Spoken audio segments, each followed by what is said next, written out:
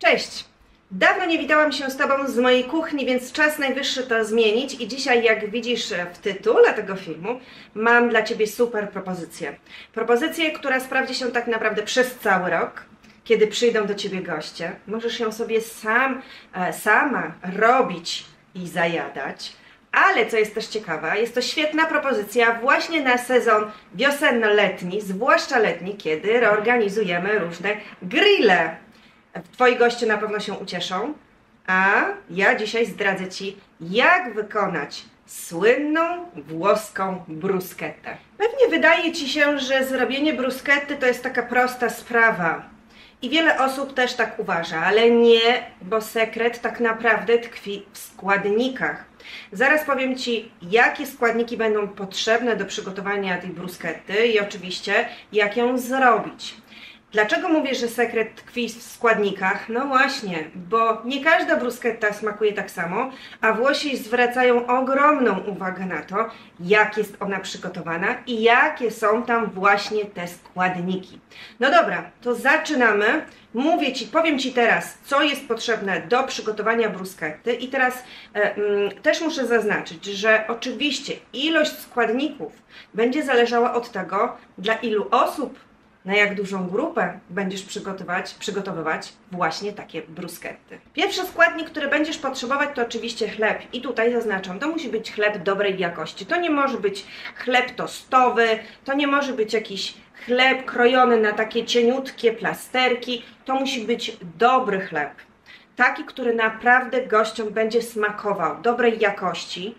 Najlepiej postawić na bagietki. My bardzo lubimy bagietki, które są wykonane na przykład na zakwasie, bagietki orkiszowe, ewentualnie, ewentualnie jakieś bagietki, które mają dodatek um, na przykład różnych nasion, ale to już jest taka, wiecie, ekstremalna wersja. Także bagietka.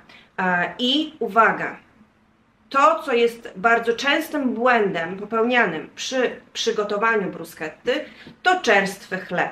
Nie robimy bruschetty na starym chlebie, dlatego że to się bardzo szybko wyczuwa w przygotowaniu bruschetty. To musi być dobry chleb, dobrej jakości chleb, najlepiej jeśli będzie świeży, który później będziemy lekko podpiekać lub też grillować, żeby nadał, nabrał takiego chrupkiego smaku. Drugi składnik, który jest podstawą przygotowania tradycyjnej bruschetty, to oczywiście pomidorki. I uwaga, nie wykonujemy bruschetty z zastosowaniem tradycyjnych, dużych pomidorów. Absolutnie nie, bo wtedy to nie będzie taka smaczna i dobra bruschetta. Wykorzystujemy albo pomidorki koktajlowe, albo pomidorki daktylowe. My najbardziej lubimy te daktylowe, ponieważ one są wyjątkowe w smaku, są zdecydowanie bardziej dojrzałe. Zwróćcie uwagę również na to, żeby te pomidory no właśnie były dojrzałe, bo im są takie twardsze i a, też żółte, tym wtedy są albo gorzkie, albo kwaśne w smaku. A nam zależy na tym, żeby bruschetta miała wyjątkowy smak. Więc pomidory daktylowe, pomidory, pomidorki sherry, pomidorki koktajlowe, dojrzałe, miękkie i soczyste. Pierwsze dwa składniki już znasz, czyli dobre pieczywo i dobre pomidorki. Nie może oczywiście zabraknąć świeżej bazylii. I ostatnie składniki to czosnek, oczywiście świeży czosnek, sól, pieprz oraz dobrej jakości oliwa z oliwek. Teraz już znasz wszystkie składniki. Zobacz, naprawdę jest ich niewiele, ale tak jak powiedziałam, dobra jakość, na to przede wszystkim postaw. No to teraz zabieramy się za przygotowanie takiej bruschetty, co też nie zajmie Ci wiele czasu. Nie jest skomplikowane, ale później smak tej bruschetty to jest właśnie to. Czyli co? Najpierw zaczynamy od pokrojenia pomidorów. Jak zobacz, widzicie to?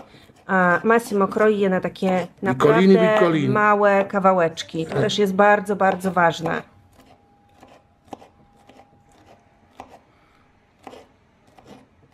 Kolejny krok, pokrojenie jednego ząbka czosnku. Też ważne, żeby pokroić Tylko jedna. Go, tylko jeden i na takie naprawdę małe, małe kawałeczki. Dodajemy czosnek do pomidorków i teraz Teraz basiliko. Świeżą bazylię, tak jak widzicie, porwaną. Też w drobne kawałeczki. Sempre piccolino piccolino. Teraz Troche Sól. sons. Troche I? pepe. trochę pieprzu. Teraz E teraz Zalewamy. olio di oliva Tak. oliwą z oliwek. Ok, i na sam koniec musimy wszystko wymieszać, tak? teraz solo girare. Tak. No i teraz musimy przygotować e, spód naszej bruschetty, Za czyli 3 minut, chlebek. 3 minut biłe bruschetta. Dobra, I solo robimy tempo di chlebek. tagliarle, Tak basta. jest. No i zobaczcie, chlebek pokrojony, nie za cienko i nie za grubo. Mniej więcej taka grubość 1,5 cm. Podpieczony w piekarniku, jeszcze delikatnie ciepły, ale nie gorący. I teraz tocco Croccante, finale. deve essere croccante. vedi? tak. Croccante. Nie może być, słuchajcie, za mocno przypieczony, żeby nie był za twardy, Nie czarny, ale też nie zalejny. nie biały. Nie czarny, nie biały. No i teraz na koniec nakładamy pomidorki. Pamiętajcie, że we włoskim domu nic się nie marnuje i ten sos, który Wam tutaj zostaje, ta oliwa, warto też jeszcze tutaj polać, zobaczcie, żeby to tak fajnie nasiąkło. No i jak? Proszę Pięknie to wygląda. Jak Gotowe. pachnie! Musicie koniecznie skosztować. Szybko? Ja, jaki Zdecydowanie delicja szybko. jest. no? Delicja. Delicja di massimo. No to teraz już wiesz, jak przygotować tradycyjne włoskie bruschetty. Dobrej jakości składniki, tak naprawdę mało czasu, a jest to super przystawka, danie, które można zaserwować na różne okazje. A taka moja wskazówka na letnie wieczory, czemu nie? Bruschetty, dobre winko, może jakieś świece, może relaks na balkonie, tarasie, w ogrodzie z bliską osobą, przy książce. Jak najbardziej tak. Jestem bardzo ciekawa, czy te bruskety będą Ci smakować, więc koniecznie podziel się swoją opinią.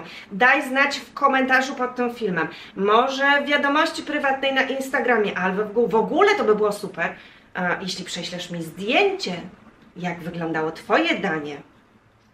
Będzie to dla mnie taka mała, miła nagroda. Dziękuję bardzo serdecznie za Twoją obecność, za kolejny film. No i oczywiście widzimy się w następnym, w następnej propozycji. Do zobaczenia, buziaki. Pa!